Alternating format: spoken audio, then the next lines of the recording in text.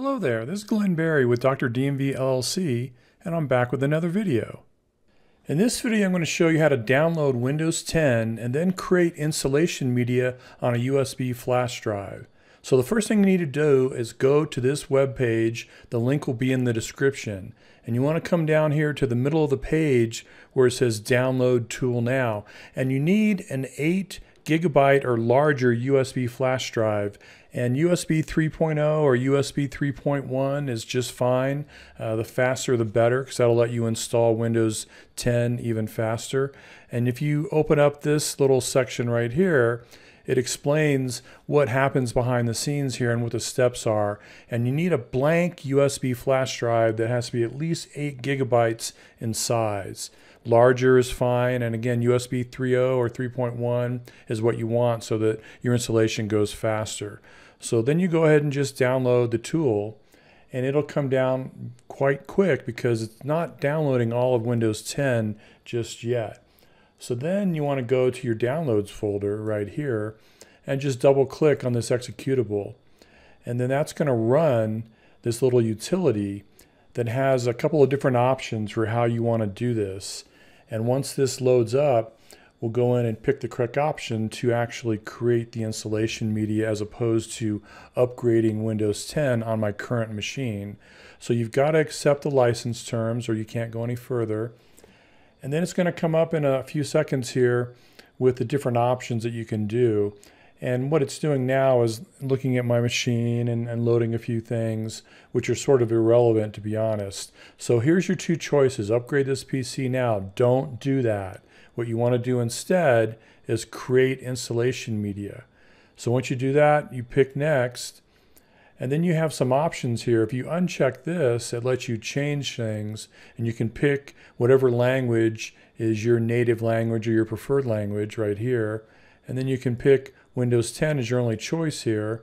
And then you can choose between 64-bit or 32-bit. For modern hardware that's been made in the last five to 10 years almost, you want to pick 64-bit. So once you do that, you'll go ahead and do this and you want to choose USB flash drive. Now if you want, you could do it to an ISO file and then you have to burn that ISO file to a DVD later and a lot of modern PCs don't even have optical drives.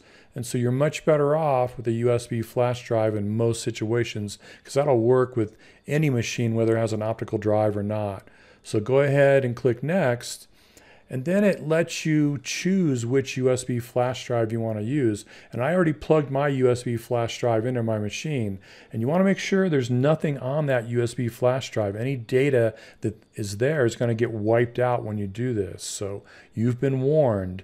Anything that's on there will get deleted. So we'll go ahead and click next and then it's going to go ahead and download this. And depending on how fast your internet connection is, this might take a few minutes or longer. I've got a fairly fast internet connection for downloads at least, so it's going to come down relatively quickly. There are three steps to this process. First, it's going to download Windows 10, and that depends on how fast your internet connection is. Then it verifies the download, and that depends on how fast your machine is. And then finally, it writes it to the Windows 10 media on your flash drive, and that depends on how fast your flash drive is. So you want a USB 3.0 or 3.1 flash drive for the best results here.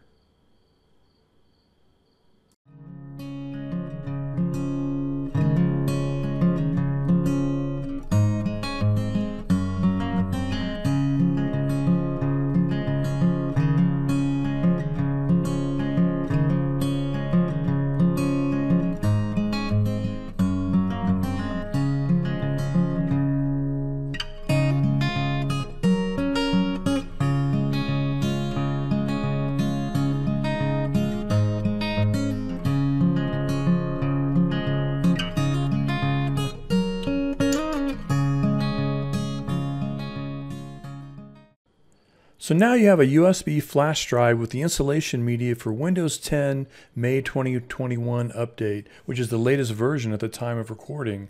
This version is also known as version 21H1.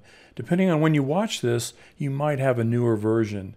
You can use this media to install a fresh copy of Windows 10 on a new machine that you might have built from parts. After that, you'll have a functioning copy of Windows 10, but you'll still need a license key to activate it. This is Glenn Berry with Dr. DMV LLC and I want to thank you for watching this video. If you liked the video, please hit the thumbs up button. If you have any questions, please leave a comment. And finally, if you want to see more content like this, please subscribe because that really helps the channel out.